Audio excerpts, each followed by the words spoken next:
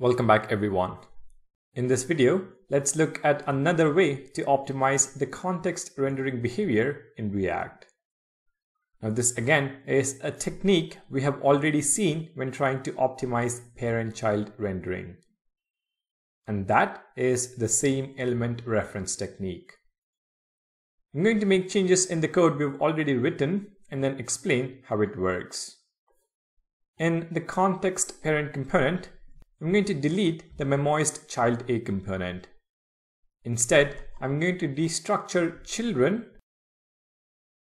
from the component props and specify the same as children to the context provider.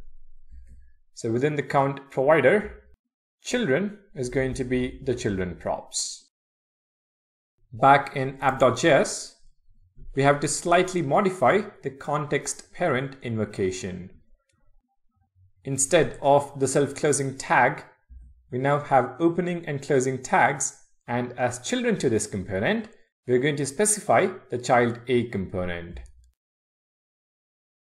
Make sure to import it at the top. Let's save all the files and test this out in the browser.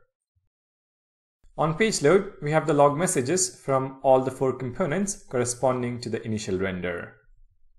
If I clear the console and click on the count button, you can see that only the parent and the child C components re-render. The rendering behavior is optimized to the way we want it to behave. The count value is also reflected properly in parent and child C components. Let's quickly understand what is happening here. When the setter function is called in the parent component, React queues a re-render of the component. However, React knows that re-render is caused by a state change. The component also cannot modify its own props, which means the children prop could not have been modified. What is the children prop? It's the child A component. So React now knows that child A hasn't been modified and there is no need to re-render that component. This is an optimization React automatically takes care of.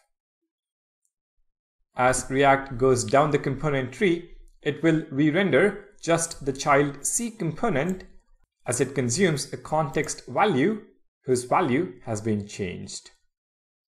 So if you're using context in your React application, Either make sure to wrap the immediate child of the context provider with React Memo, or make sure to use the children props to make use of the same element reference optimization that React provides.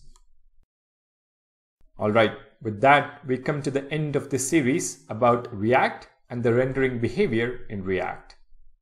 I hope you enjoyed finding out the smaller details in React as much as I did. If you found this series helpful, please leave a like and share the playlist with your friends and colleagues. If you would like to go the extra mile, you can also support me on Patreon. Thank you guys for watching. Don't forget to subscribe and until next time, take care.